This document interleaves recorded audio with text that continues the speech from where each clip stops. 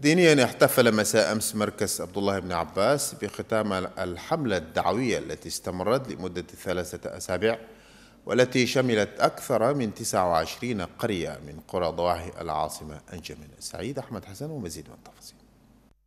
319 داعيا في سبيل الله بالعاصمة جمينة وضواحيها وأكثر من 130 آخرين بمدينة أبشة حاضرة إقليم وداي والقرى المجاورة لها. خرجوا في سبيل الله حاملين معهم كتاب الله وسنة رسوله صلى الله عليه وسلم. شعارهم الإسلام علم ودعوة.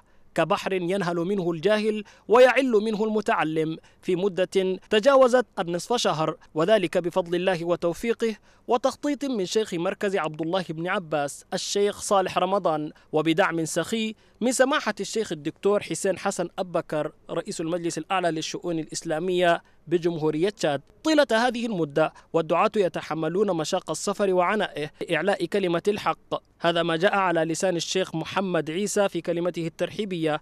أما كلمة الدعاة التي قدمها الشيخ عبد الرحمن علي شوقي شكر فيها كل من ساهم في إنجاح هذه القوافل طالبا أن تتزايد المشاركات المادية والمعنوية حتى تعم الفائدة ربع البلاد. ممثل الشيخ صالح رمضان تناول في كلمته أهمية الدعوة إلى الله وإرشاد المسلمين وتذكيرهم بالعلوم الإسلامية. الشيخ أحمد موسى هارون ممثلا لرئيس المجلس الأعلى للشؤون الإسلامية بجمهورية تشاد شجع القائمين على هذا العمل بالاستمرار واحتساب الأجر عند الله.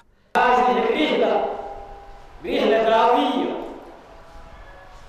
وقال الرسول صلى الله عليه وسلم الدعوة منهاج من كان على منهاجي كان معي في الجنة يوم القيامة.